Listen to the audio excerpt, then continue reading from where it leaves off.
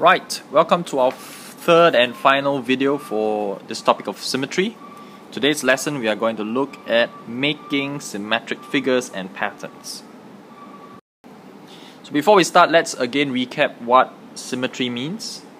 Basically, if this figure is symmetric, what that means is it has a line of symmetry, an imaginary line of symmetry, where it divides the figure into two equal halves, and these two equal halves will fit exactly when folded.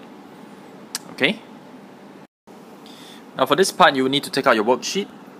So for the first example, the figure below is half a symmetric figure. You are required to complete the figure with the dotted line as the line of symmetry. So this E shape here, the figure here, is half a symmetric figure. This is the line of symmetry. We are supposed to complete it on this side. Okay, so what you need to do is take out your color pencil or blue pen and start shading. Okay, so remember, line of symmetry means that the two halves are equal halves and they will meet, they will fit exactly. So if I have one, two, three, four, five, six boxes here, I should have six boxes over on the other side.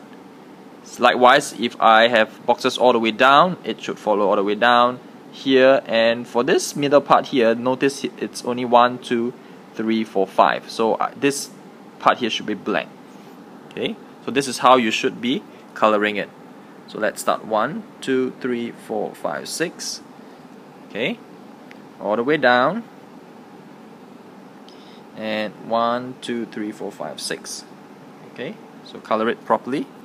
And for the middle part, I will leave that one box blank. Okay, so I color all the way here.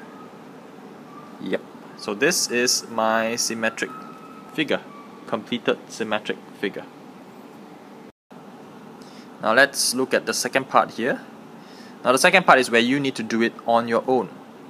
So your job for this part is to create a symmetric figure with the dotted lines as the line of symmetry. So you can use this as an example, alright? So it should look something like this.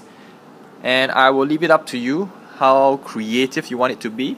So all you need to do is just shade some boxes okay so shade some boxes. So if I shade this like that so this is half of the symmetric figure and then the other half will look something like this.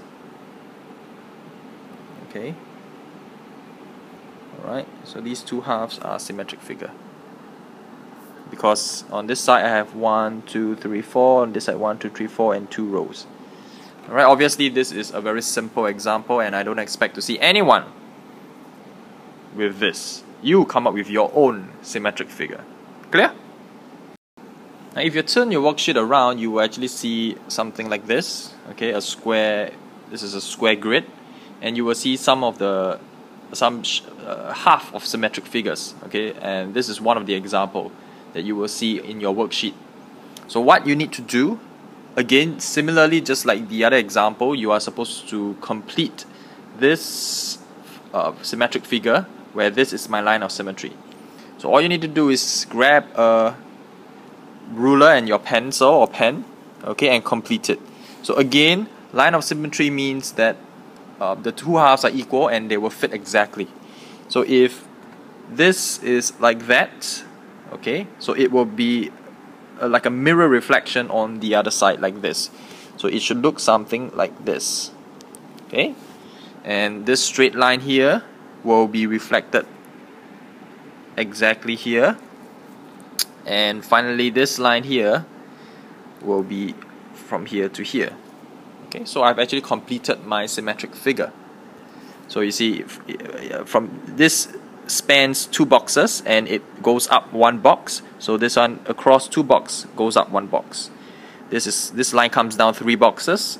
This line should also come down three squares or and same with this it goes up across two squares and up one square. So that's why the line is like that. So basically what you need is a figure that is symmetric because it this half the two halves are equal and it will fit exactly. Okay so I've already shown you one example. So your job is to fill up the other four and bring it back to class and let's continue to talk about it in class.